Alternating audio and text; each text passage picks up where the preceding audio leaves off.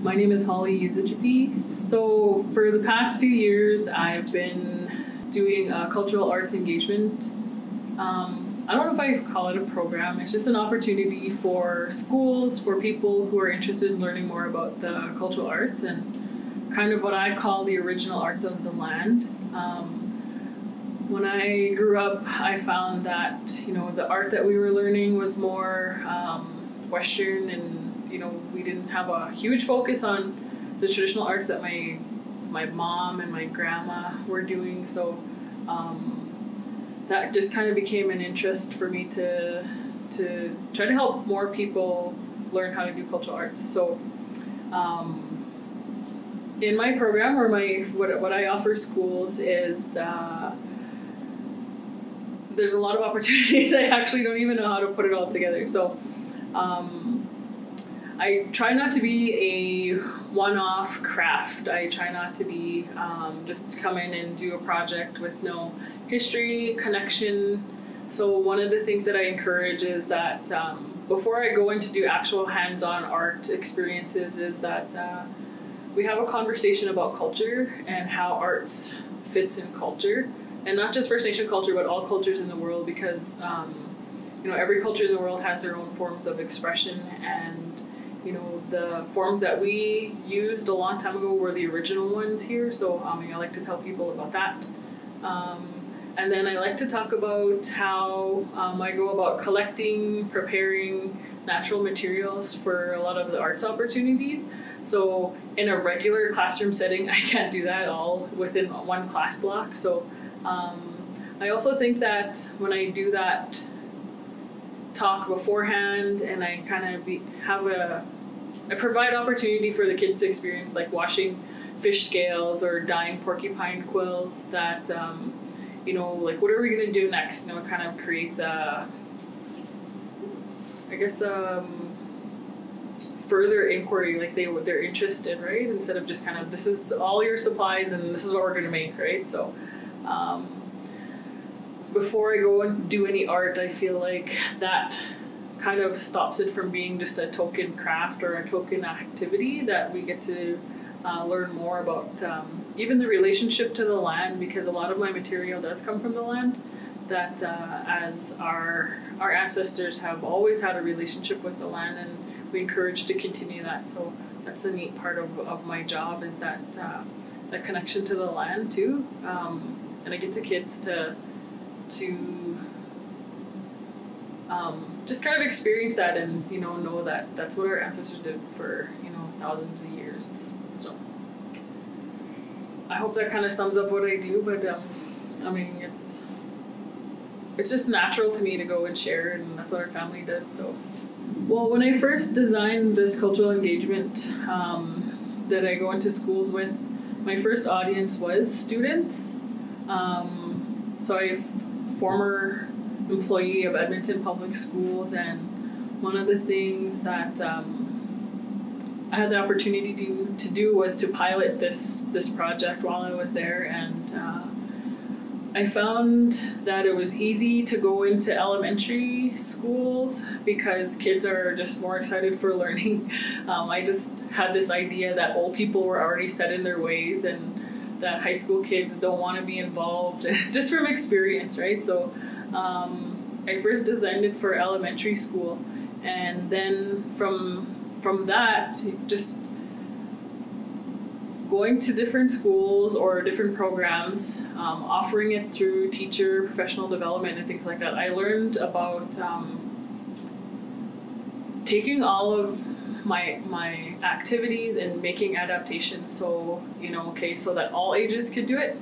So um, my original target was was elementary school but now that i found um, there's a huge demand for what i do. There's a lot of people that are interested in in bringing in cultural arts into the school whether it's because of all what's happening with reconciliation or learning about residential schools or people just trying to incorporate the history the original history of canada that um, you know there's a high demand for it. So then I started to play around with different um, different ways of, of delivering information.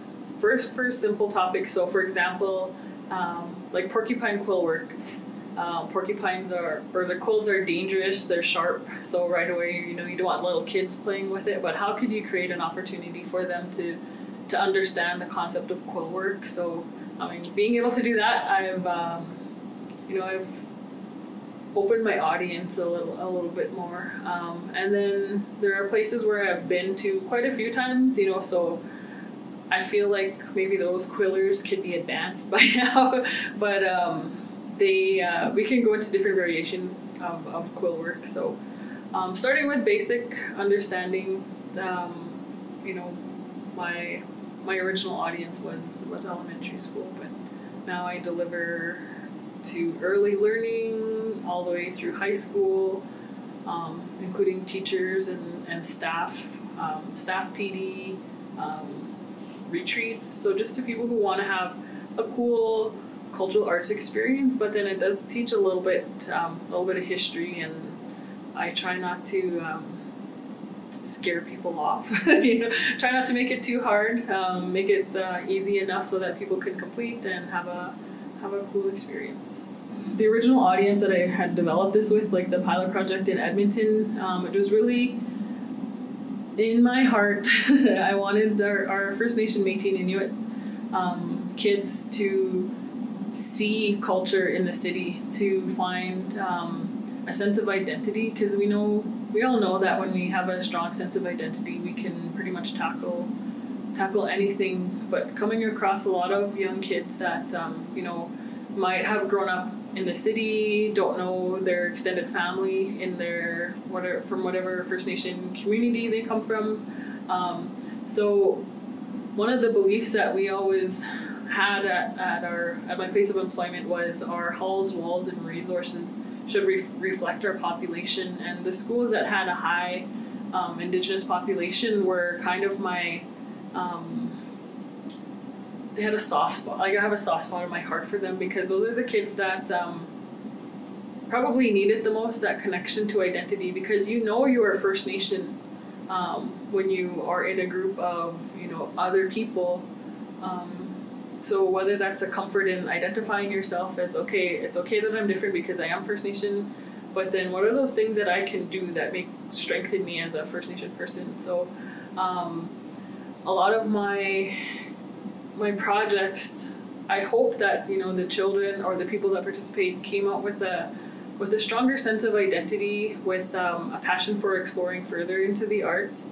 Um, you know, a long time ago, I was taught that you know our, our our forms of expression, our arts are tools. They're not just um, for economic or to make money. They are they are ways to help your your mind and and your heart. It's storytelling.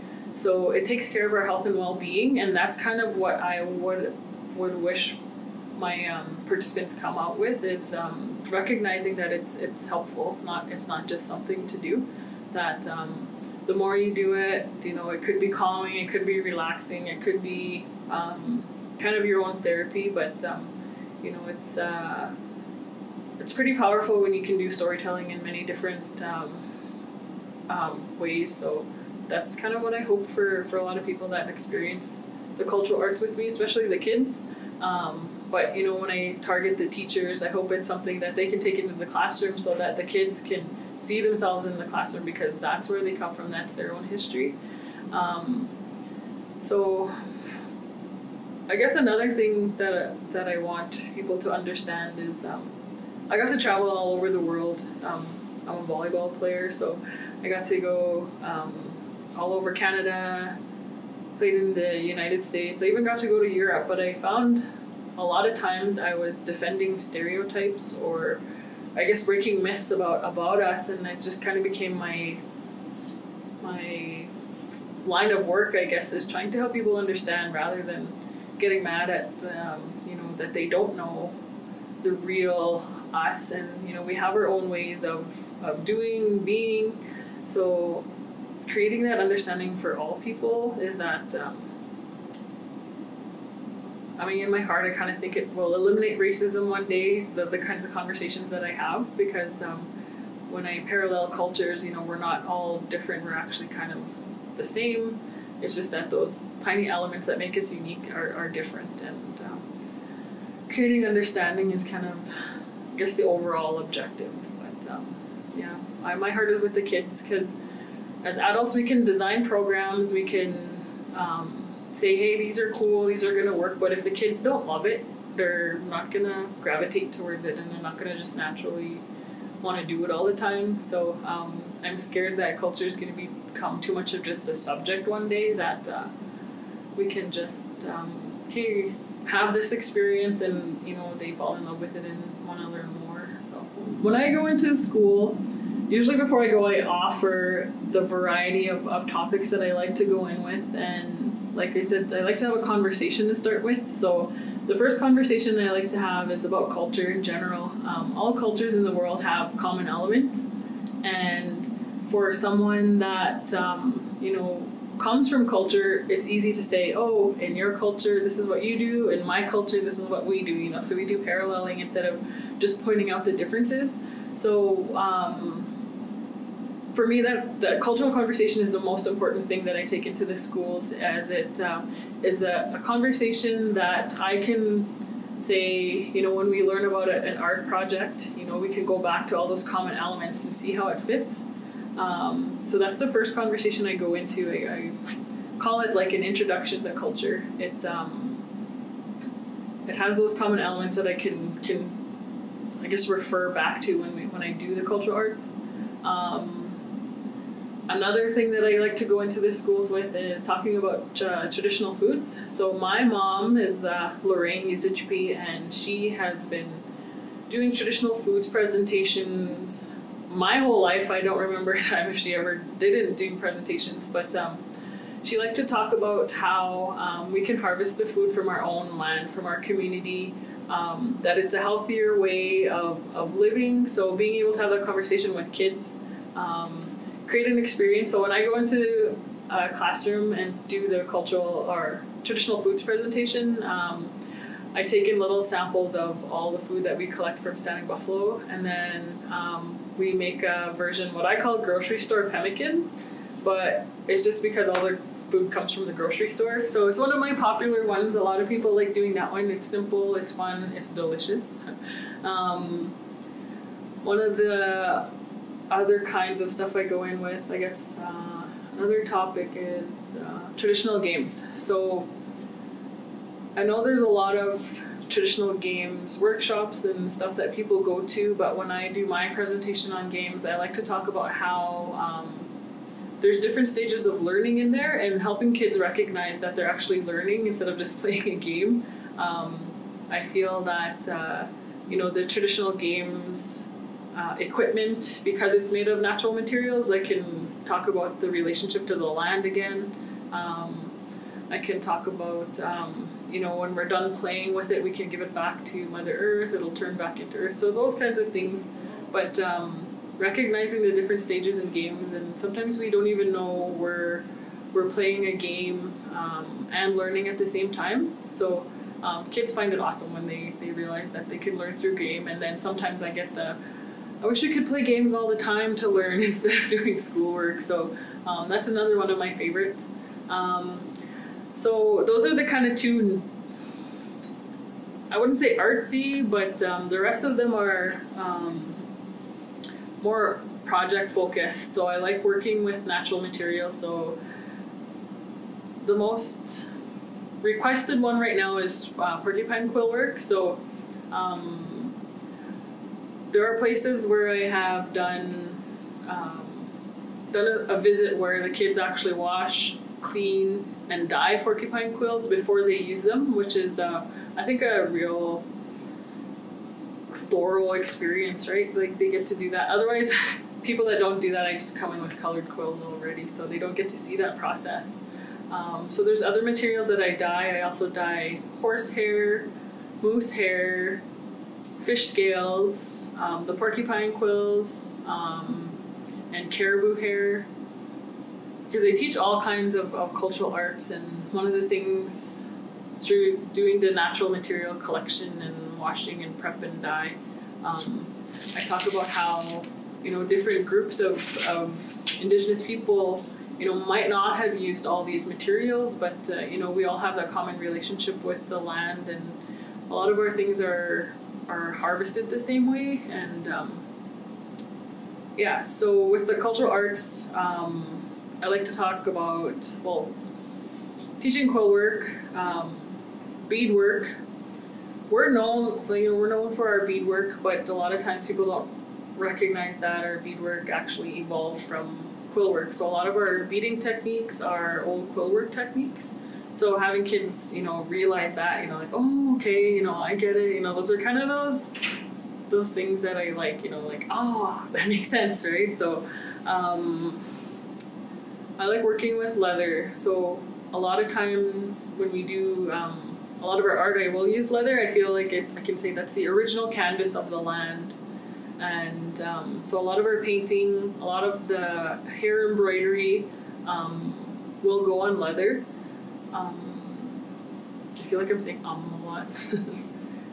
the working with parfleche, you know, parfleche is actually uh, a French word, but um, the rawhide, the rawhide component of making like containers and things like that, uh, the kids can make a little envelope. Uh, depending on the, the time I have, some people have made boxes or other kinds of containers which involve math, you know, which a lot of people don't realize too. Like the the already components of, of that exist from school, you know, the science in it, the math, and the, the literacy, the numeracy, like all that kind of stuff. Um, we can pull a lot of that from these cultural arts and, and find ways of, of enhancing those those elements, I guess. But um, you know, it's fun fun when we can do it in from a arts perspective. Um, so a lot of the arts that I do go in with, it's really I, I like to teach the technique so that kids learn to apply the technique rather than assume that the technique is only for that project. So um, when I do quill work, I will teach quill wrapping and sewing down the quill in three different versions. So instead of just making a project, so then they apply the technique to the project, which I think is more freeing, more liberating in a way. There's uh, room for creativity. Whereas if you go in with a project that already has, you know, its limits, um, it's not as fun. Uh, same with beading. I go in with just a beading technique. I go in with three beading techniques, and then the kids get to create something on their own. So um, I think having that flexibility is really important. Um, so I've also done collaborations with other kinds of, of art. So for example, um, this one time I had a junior high art project where our theme was uh, reconciliation and the calls to action. So I've taken the the three days that we work with the kids and broke it down into um, learning about those calls to action, reconciliation, having those pre conversations, then learning art techniques, and then watching the kids come up with. Um, an art piece influenced by the calls to action. So whatever call to action spoke to them the most, um, or one that they wanted to focus on, whether it was um, a call to action that was important to their family or in the direction they were going, if they wanted to be in the health field or in education. Um, so they picked picked one call to action to portray into art. So um, I have one school right now that applied to do all the 94 calls to action into an art piece. So hopefully we get the grant, but um, yeah, it's creating it's it's creating opportunities like that that I love to you know go into places and talk about. We don't have to follow this agenda, you know, all the topics that I send out, but that we can also come up with our own with our own version. Um, last year, I worked at Belcarra School, and we did a piece on um, dedicated to the missing and murdered Indigenous women of Canada, and so the kids did some research and they found um, information that you know it told us all the locations of the documented cases of missing missing women, and then so our art piece. It was funny because our art piece, it was a leather, and we strung it up like on a high tanning frame, and then we did an image transfer of all the provinces across Canada. But when I brought the leather, it was already in the shape of Canada, so I thought that was really like it was meant to be kind of thing. So, um, and then when we did that, the kids learned how to do, um, we just did a quick daisy chain, like a daisy flower. So they made these little flowers and documented all the locations on that hide um, where the missing cases were. Um, so for them to go through that realization, you know, that these are real people, that they had to look up a name and to see where they went missing from, then to find that on the map, but then to document it in a way, you know, like the, the cultural arts on the leather with the beads um, and the flowers, you know, the flowers being connected to the environment and the land. Um, it was really it was a really powerful experience because not only was it the kids you know when when people would walk by they're like oh what are you up to so there's it, it invited a lot of people into the to the classroom which also um, created more opportunities for the conversation for missing and murdered indigenous women but um, you know one, that's probably one of the one of my favorite um, things that I've, I've done in classroom but uh, I like to design things because teachers, schools, I mean the audience that I go to, whoever I coordinate with knows their their people the best. So um, I'm always willing to design something, whether it's unique, whether it's something that I've done already, um, but to create an experience that you know that they're gonna have conversations about for a long time, um, and then lead into other conversations. But uh, I think that kind of sums up all what I go into to schools with sitting in the kindergarten class after I've been there quite a few, you're like, what are we gonna do next? You know, it's the people that want more. Um, that's that's kind of what I go like. There is a huge need for it, um, but when I see kids finish a project, when I see kids bring things to parallel the significance of it, you know, that's uh, that's what it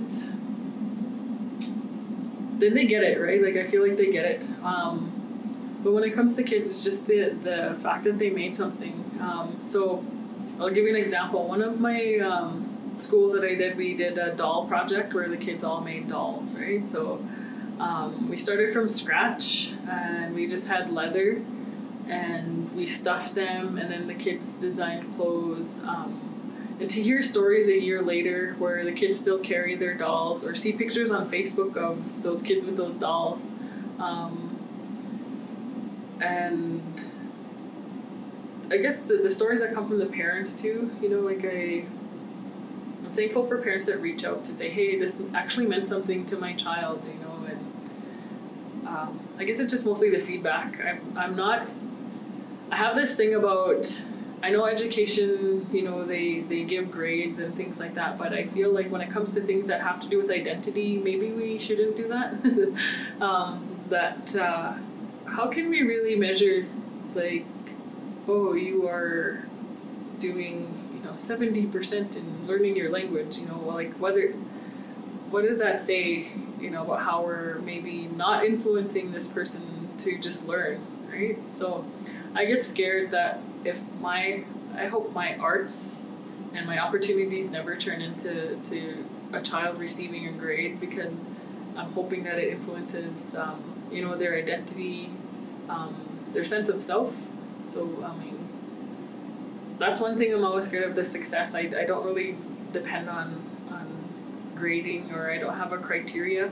Mine is just as long as they try and they get to hear the stories of the connection to culture, the connection to the land, um, a little bit of history of how we got to this place from doing these arts a long time ago to now. Like for me, that's enough for, for them to, to know and to learn, and um, I can't force them to to do more art or to like it, but um, I don't know if I have any real success measurement. But um, I guess the stories, the feedback, the demand. The desire like a lot of people want to want to have this in their school want to have their students experience it um, and it's it's time for for us to do that we're gonna help people so. last year well the other thing is there's a lot of there's not a lot of funding out there for um, artists to go into schools um, people schools have to find ways um, so I've had schools that apply for grants through Arts Board. So last year we got three grants.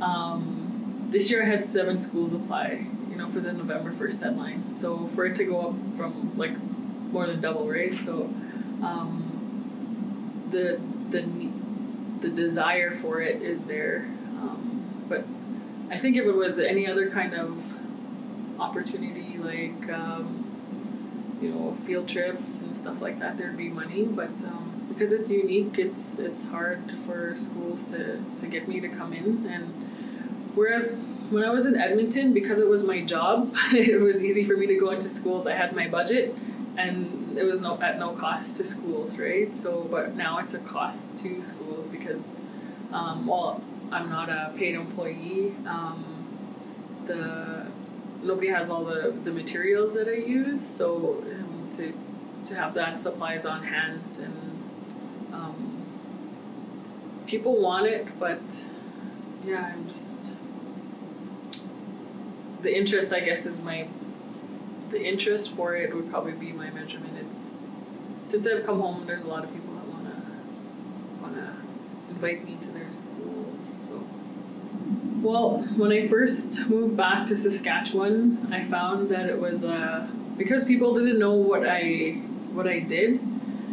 I was in an area where nobody experienced what I do in the schools. That it was almost kind of like a hard sell. Um, I felt like I had to convince people a lot more in the beginning, whereas now I just, you know, I get emails or phone calls and asking my availability. But um, the hardest, well, not the hardest part, but I mean, I don't see it as a barrier. But because I've been doing this for a long time, um, my back, my educational background, I actually am not a teacher. I don't have a BEd. Um, I went to school to be a welder. I wanted to do I wanted to be a welding artist. I wanted to do metal sculptures, and um, I also did a cultural arts instructor program, which you know I learned a lot about the arts in the north. Um, so when I when I tell people that I'm not a teacher, I feel like they look at me like I have less. Um, oh, you know, like I'm. I don't know. I just feel like okay, I, I don't qualify to be here, but then at the same time, I I can see the that the there is a lack of cultural arts knowledge and ways of incorporating cultural arts in the classroom. So for me, that's my strength. And luckily, when I did work with Edmonton Public, you know, um, the my supervisor and my co coworkers, you know, there was a lot of collaboration. So um, when we when I designed this this program, um, you know, I got to go into the schools and um, you know those teacher colleagues that I had, you know, helped me, and we basically just kind of. I think because they were open to it, right? It didn't. It didn't. To them, it didn't matter if I was a teacher or not. It was the my abilities of being able to go into the classroom to create these opportunities for, for kids. Um, so coming home and trying to tell people, you know, this is what I do, and um, to not be an actual teacher I don't want to call it a barrier because I don't. I mean, I don't see a need for it for myself um, because I love doing this, and um, it's not a huge criteria for myself to to do. It's a passion. It's something that I already know. So um, yeah, going into the classrooms is just natural, anyways. You know, my whole life everybody said that I should be a teacher, but I didn't want to be a teacher. I don't want to teach people stuff that they might not like. You know, so I'd rather create cool experiences for people. Um, so yeah, when I first came back, it was a hard sell, but now now that people know what I do, um, yeah, like I, I think I like that the that I don't have to work every day. you know, I don't have to uh, be busy all the time, and I can be free for for a lot of things. Like um, when I worked with Edmonton Public, I had a lot of requests for outside the district, whereas I'm a district employee, so it was really hard to to say I want to help them, but you know I can't because my job limits me. You know I have my area, I have my schools, so. Um, now that I'm just doing independent contracting, then um, it's easy. Like I travel all over the place, and it's awesome. So I don't feel like I'm missing out on kids. Whereas when I was in my other job, I felt like, oh, I only have these kids, but these kids need it too. So just being free, I feel like uh, it's it's better. But yeah, that was the only. It's yeah. I'm in a momentum now. The challenges aren't really there. So when I think of um, my ancestors, you know, our our method of nurturing a child to have um, the abilities and skills that they need to be contrib- contributing to to um, society. I guess um, you know, when I think of our, our those old ways, um, I feel that's more truest to to Indigenous education rather than the, the Western way. Um, the ways of doing that is also different, as we didn't have classrooms, um, no authoritative figures, I guess, in in um, in the groups, but you know, from going into classrooms now, I find that uh, the whole idea of culture in the school can be a little more specific to um, be a little more specific to to the truest cultures of, of the land here. So um, when I have that conversation of culture in the classroom, um, I, I talk about six common elements. The first element is language. The second one is kinship. The third one is the process in transferring of traditional knowledge. The fourth one is the connection to the environment. The fifth one is the ceremonies and celebrations. And then the last one is the forms of expression. So, part of the reason I teach people or I tell people about those six common elements, and these elements kind of came after attending multiple kinds of cultural awareness um, trainings, um, other kinds of events where people were trying to talk about.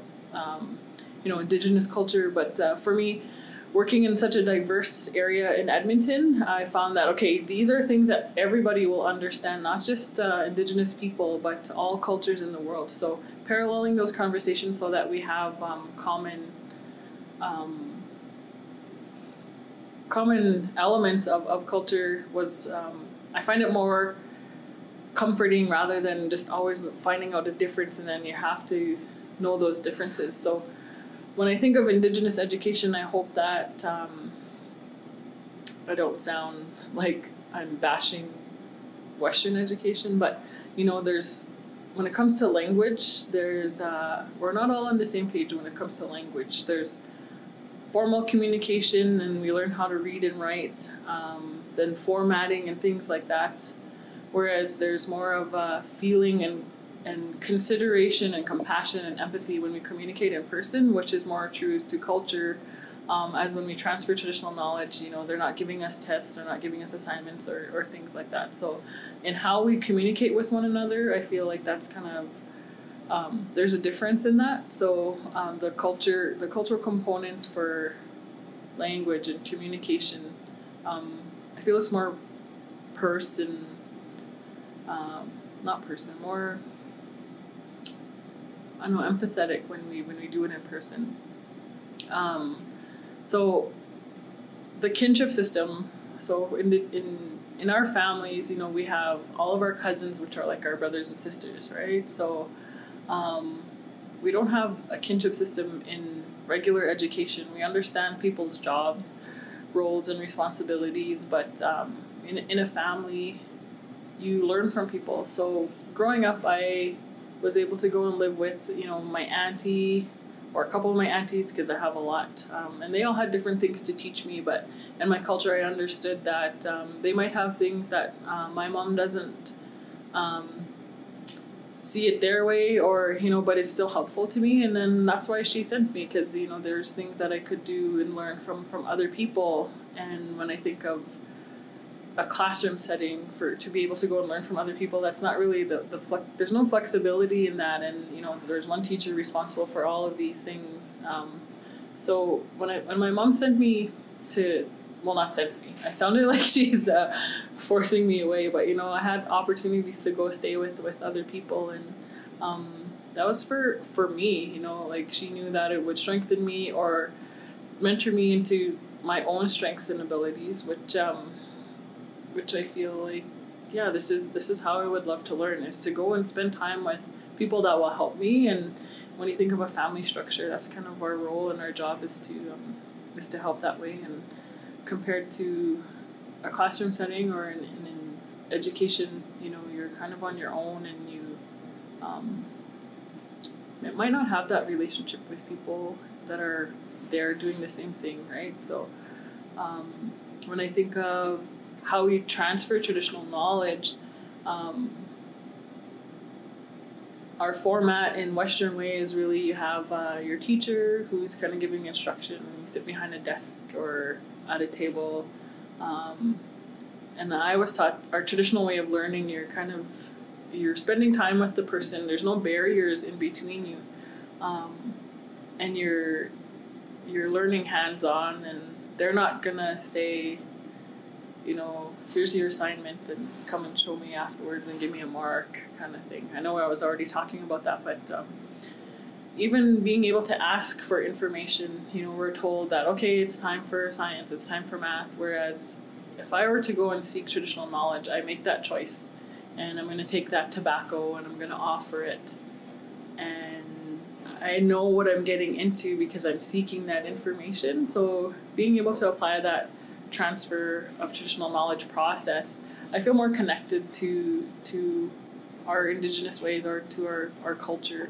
Um, so just acknowledging that that you're going to go and learn something that you're making an effort you're taking that offering i feel like our, because our kids don't do that for all the other subject things maybe there's a little bit of a disconnect but um, when i think of the the thanking you know when you're done when you're learning when you've learned what you needed to learn and you have that opportunity to say thank you or to give a gift you know what we gift people when they give us their time and their knowledge um, you know that it feels like it comes full circle right? That you got what you needed so they that you can say thank you in, in a good way and, and give that gift. And you know teachers don't often receive that from students right? Like um, an example i always give in school is like have you guys ever taught your teacher said thank you for teaching me about math you know i'm going to be smarter with money when i grow up you know those kinds of things but you know it's not part of our process to teach kids to be thankful for what they're learning in the classroom.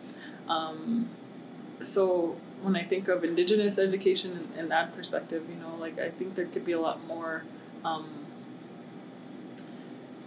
uh, relationship that way you know like talking in a full process of acknowledging what you're getting and then being thankful for for it afterwards um, when it comes to connection to the environment, you know, every culture is connected to the environment, and there's so much information in there. And uh, I think of my arts process. You know, I have to collect, wash, clean, dye stuff, and you know, I don't just go hunting for art supplies. You know, we have a a relationship with the land and how we use it, um, even when it's the food that I eat, the lunch that I have, the water that we get, um, all comes from the land. So when I was growing up in school, well, so I went to school in my community. I also went to school in town, and then I went to residential school. So when I think of the connection to the land and the environment, um, I didn't have that when I went to school into public school because um, I felt like because we had more activities that are uh, at residential school and at home that were connected to First Nation, to our culture, that um, I felt that relationship was there. But I didn't feel it when I was in public school, and sometimes I worry that when I go into public schools, that um, you know that connection to the environment um, is not identified or pointed out to to kids as much as it was when when I was in a school in my community and residential school. So I mean, I keep in mind my own experiences when I go into schools, but um, you know, I I really believe that uh, the environmental connection is really important because um, our food, how we behave on the land, where where our buildings are, um, what are what comes around our buildings, I guess, and I remind kids, you know, we are even though we have our we talk about our own traditional territories that um, you know plants animals have traditional territories in the cities that we live in or are part of. They if we removed it all you know there would have been plants and animals that lived here too. So um, i feel like that environmental connection just really acknowledges this the space of where people are learning even though we're in a building that uh, we can acknowledge that uh, there was animals and plants that whose natural home was here. Um, I feel like I'm going off topic now, but so the ceremonies and celebrations, you know, when when it comes to education, we celebrate, you know, their fa- their their finishing school, they're graduating.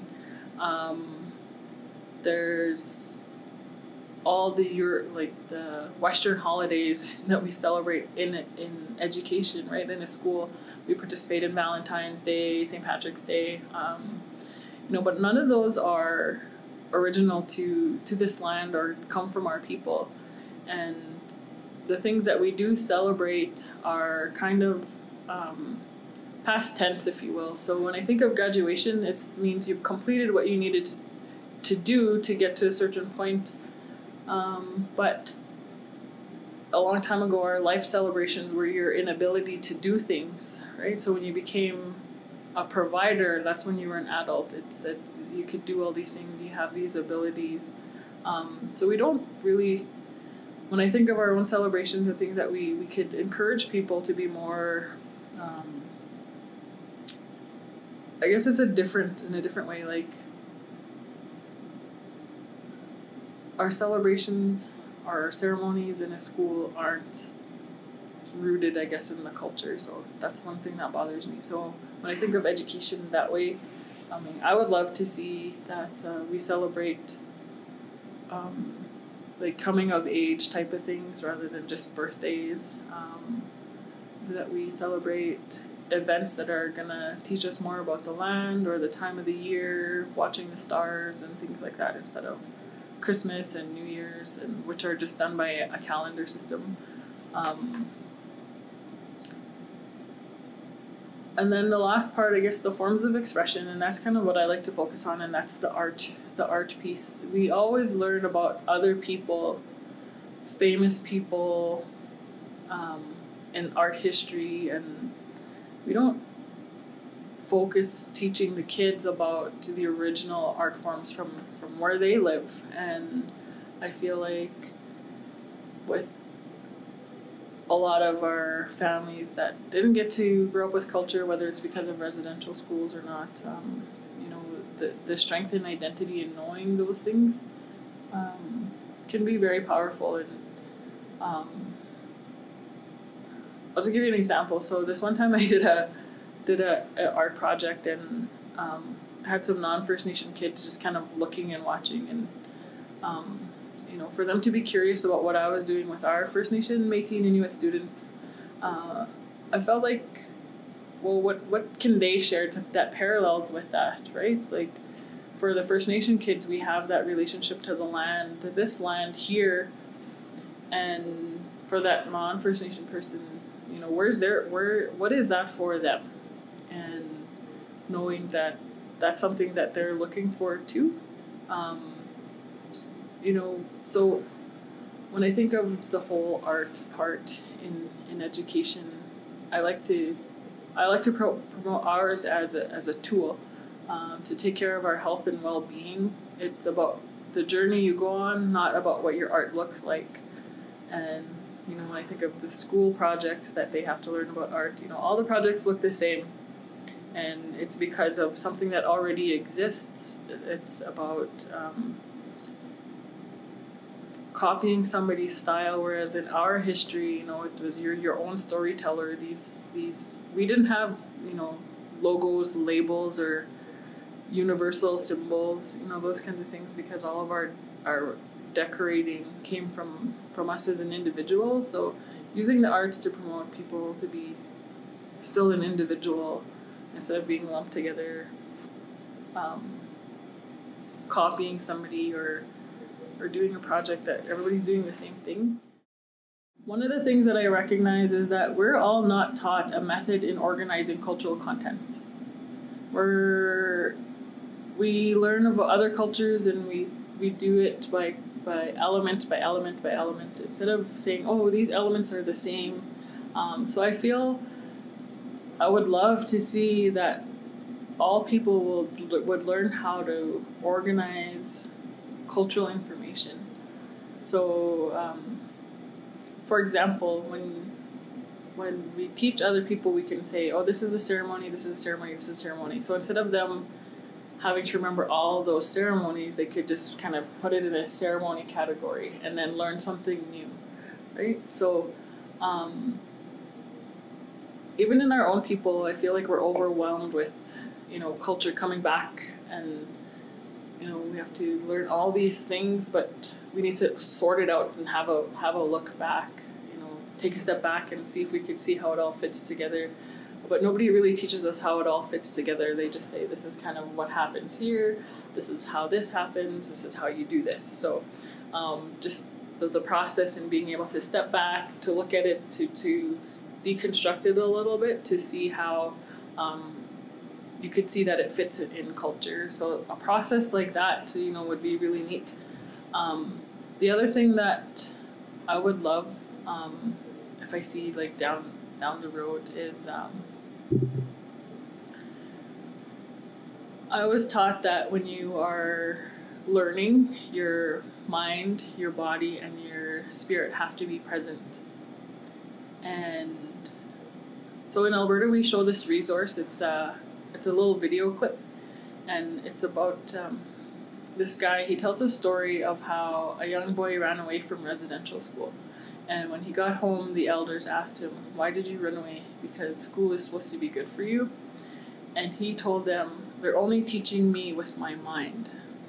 So when I do my cultural arts, like the PD stuff, I ask the teachers you know when you look at your lesson plans when you look at your opportunities that you're you're providing or creating for students how many of them actually consider the body the mind and the spirit of the children? And when i think of how i like to get people excited you know before i actually do things um, you know that's almost like you're inviting the spirit to be there. Um, so when in our spirituality you know we can we call on our ancestors we call for people to be there and um, we're not always all present when we go to something. Like i know i've been to meetings where like all my mind and my body want to be at home sleeping right? And when i'm in the classroom you know sometimes kids they might be tired or hungry so their spirit isn't there.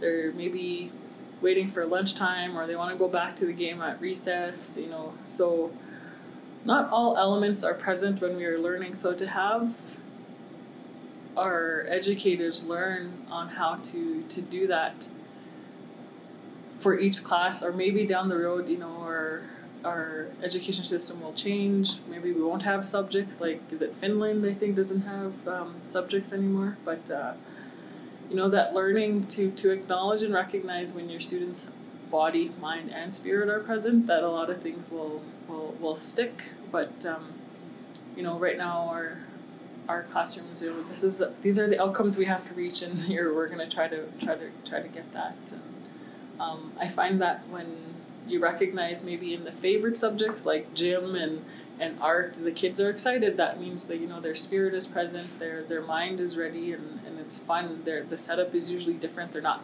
in a desk. They're not behind. There's no barrier in between the lesson and the learning. So um, those are probably the two most uh, important things that I would like to see would be the the ability to to deconstruct culture, to take a step back and then kind of make it into categories so that it, it, it makes sense. And then to make sure that, you know, our children's body, mind, and spirit are present in, in learning.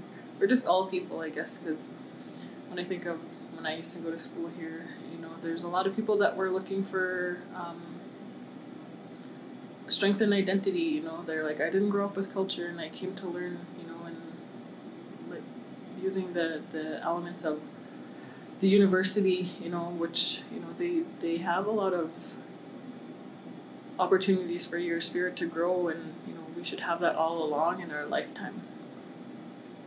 Um, and i know a lot of our own people our indigenous people need that but you know for all canadians to recognize that would be kind of awesome you know that it's that it becomes common common part of education that we we um, we teach others to be compassionate compassionate and have empathy um, you know i already see a difference in, in, in kids from just from the work that I do, when I do presentations to different groups, um, you know, talking to the older people who didn't grow up with um, cultural information or weren't aware of, of just history of indigenous people in general to you know high school kids that have a lot of experience and they're learning more about it. So like i can see the change in in understanding history. So i think the same could happen for understanding culture. Um, which i feel like is a huge element of of education because it's it groups us together as a people having um, the same values. So, one of the things I always tell people about is um, when George Erasmus talked about how where common memory is lacking, there can be no um, community. So, when I think of, well, we need to create all these common, awesome memories so that a lot of people can be part of a huge, like a greater community. Um, and it starts, I think that starts with education. It starts with educating people um, with, with the same experiences and, and powerful powerful opportunities I guess um, then those powerful opportunities become the common elements and common memories of, of everyone so I think we're still in the stages of well these people experienced it this way these people know how to do it this way so we just got to get everybody on the same page and